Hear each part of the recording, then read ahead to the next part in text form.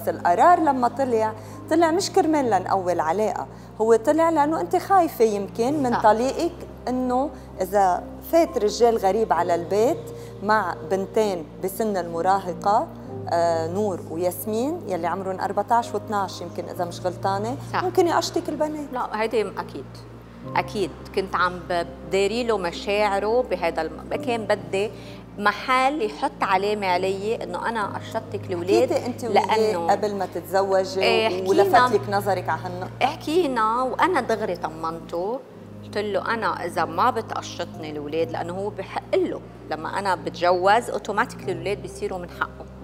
فأنا طمنته قلت له أنا إذا ما بتاخذ مني الاولاد بس اتجوز أنا بقعد ببيت وجو ببيت. يعني جو ما يعيش مع البنات. فهالشي بعتقد كان مردوده إيجابي ومثل إنه أعطى يعني ريحه لطلال بمحل. بس يعني بكرة بقول لك مثلا إذا أولادي صاروا بالجامعة أكيد حعيش مع جو. يعني ببطل في إذا بدك هيدا الشيء ال factor اللي من وراء إنه أخذنا هال decision. أنا كمان بي بالنهاية. أنا ما بقبل يجي مثلا هلأ آه، رجال من برا يعيش مع ابني وأمه. شو بتعمل؟ مش كثير منطقي هلأ سنتيا ما تزوجت. لا. إذا تزوجت. ابنك عمره ثلاث سنين ونص اليوم. اللي لازم يصير برايي هو اللي أنا وياها عم نعمله. فاللي عملته هي يعني مع أنت بدك تفرض على طليقتك تعيش هي ببيت وزوجها ببيت؟ الشيء اللي عملته غنى منه منه تشالنج أو انتباه كرمال ما يصير شيء لا هو هذا الأصول. ما لازم صبي مثلا بناتها اثنين نور وياسمينة. ليش بدهم يشوفوا كل يوم جوزها بخلقتهم؟ مش مزبوط هلأ إذا هن شافوه ليلة مثلا تنفهم لأنه بالنهاية هذا جوز أمهم.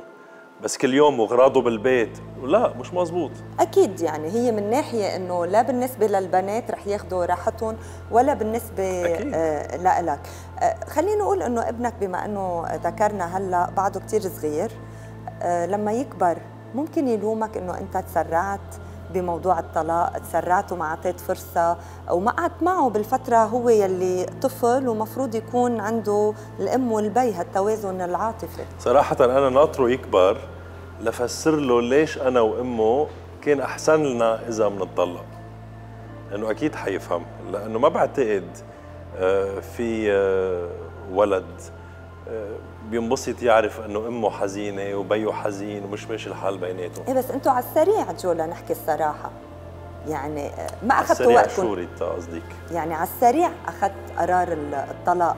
ما أعطيتوا فرصة يمكن آه، لزواجكم آه، أكثر نحن اليوم عم نحكي إنه ابنك عمره ثلاث سنين ونص بس أنت لك ثلاث سنين مع غنى واليوم تزوجته. يعني عم نحكي لا مش كان يمكن ابنك عمره ست أشهر لما بلشت ال...